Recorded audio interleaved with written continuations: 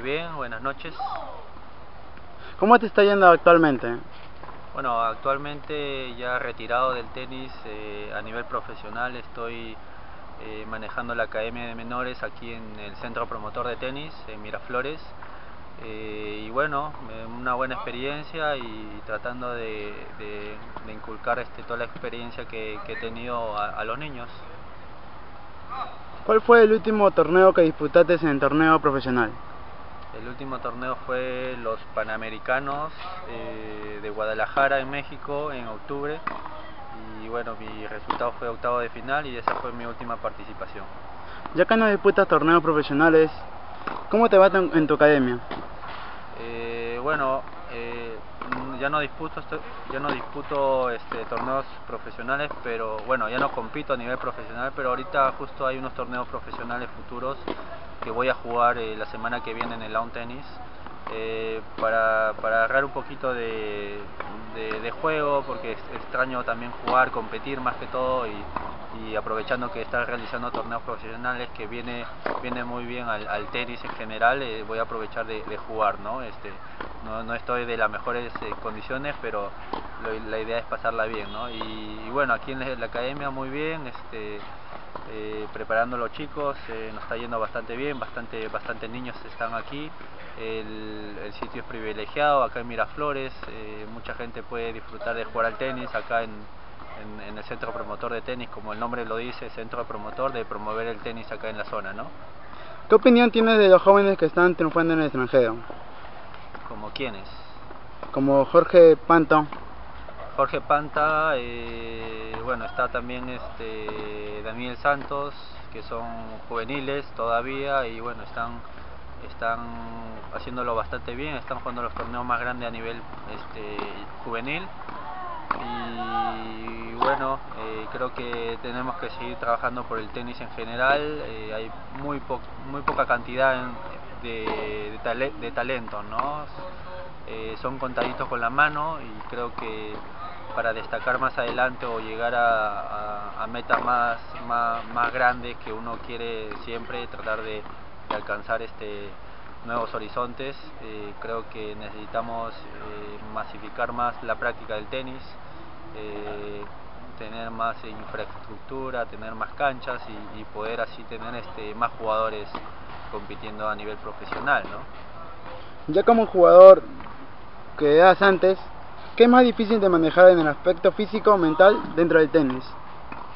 Eh, ¿Cuál? ¿Una de esas tres causas cuál es la más difícil o...? ¿Cuál es la más difícil de manejar?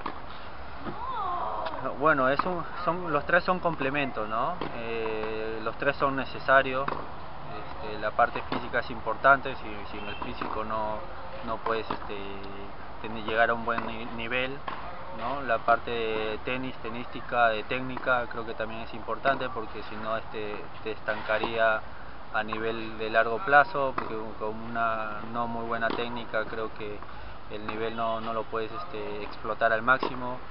Eh, la parte mental cumple un, valor también importante, o sea, está dividido en, esos tres, tres aspectos que son totalmente importantísimos y van, van conectados todos, ¿no? La parte mental este, ser, ser este, competitivo, ser, este, tener buena actitud, buena, buena predisposición, de, tener tus metas claras de qué es lo que quieres hacer en la vida cuando uno empieza y a nivel profesional, a nivel más, más, más, más competitivo, bueno, los puntos importantes tienes que manejarlo mejor, no manejar bien las situaciones, o sea, va, va, los, va las tres cosas este, juntas, ¿no? ¿no? No se puede separar y bueno, creo que todo es muy importante, es en conjunto, ¿no? Claro. ¿Cómo ves el tenis estos últimos años? El tenis estos últimos años, eh, bueno, en la época que en la cual yo jugaba, que no ha sido hace, que ha sido hace poco, bueno, me retiré el año pasado. Eh, ha sido muy buena época, hemos llegado al grupo mundial que nunca antes habíamos llegado. Eh, este, hay más jugadores profesionales, cuando yo empecé a jugar no había casi jugadores profesionales.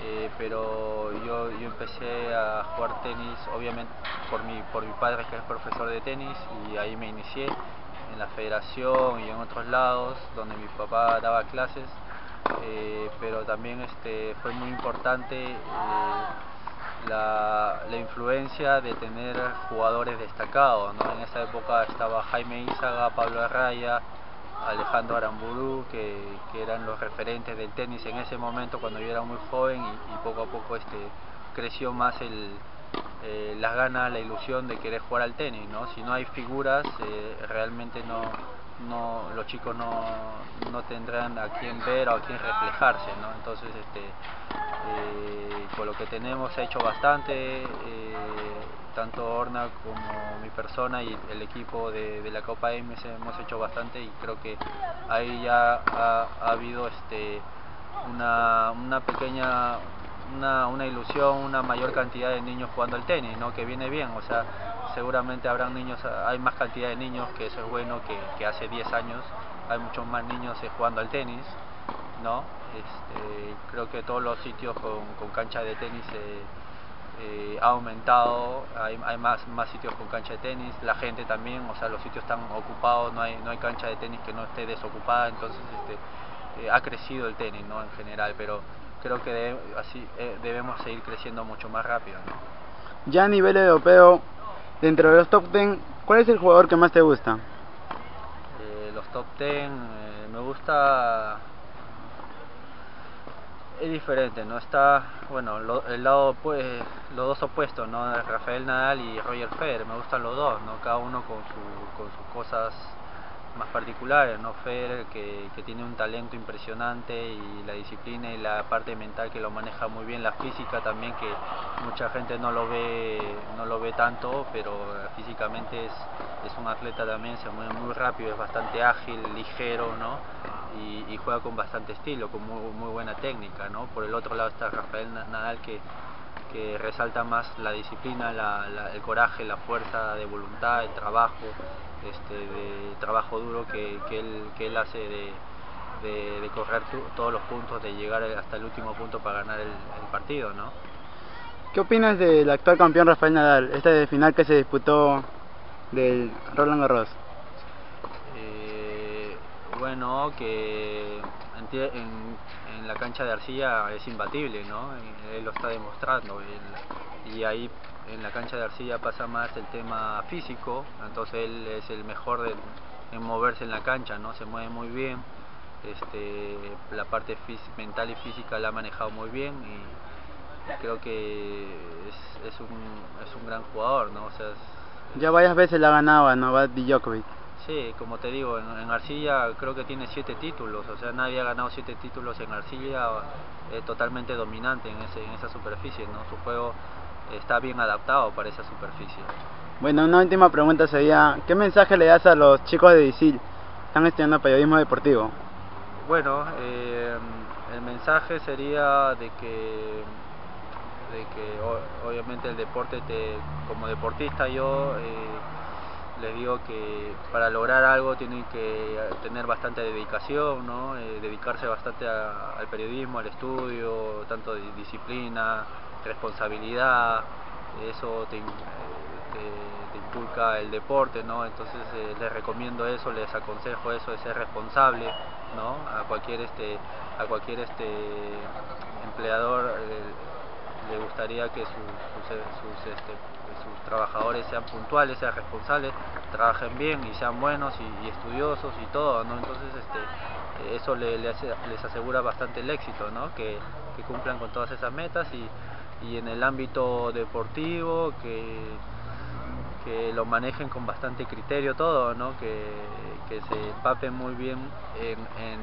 la disciplina, ¿no? Porque obviamente tenemos más periodistas de fútbol, ¿no? No tenemos que eso es lo que alimenta más de repente al periodista, ¿no? No tenemos periodistas tanto de, de, tenis o de atletismo o de, de, de, badminton, ¿no? O sea, como que sería bueno que indaguen un poco más de, de todas las disciplinas y, y se y puedan este, comentar más con un mejor criterio de la disciplina, ¿no? O sea, dando algo más objetivo, ¿no? Y claro para que la gente pueda entender, porque ustedes la, verdad son el, el medio que, que, transporta este, el deporte y hacen noticia para la gente para que lo vea, ¿no? Y, y son, tienen gran importancia, ¿no? Entonces sería bueno de que se, se empapen bien de, de la disciplina y, y, no estén comentando, digamos, como en, otros casos del, del, deporte, tanto en, en este atletismo, estos, cosas muy muy este no tan específica no no el deporte está más o menos el deporte está bien no y ser más concreto y objetivo en, en esa disciplina y, y, saber más de más conocimiento de, de la disciplina que le quieren de, dedicar no muy bien Iván. Gracias por la entrevista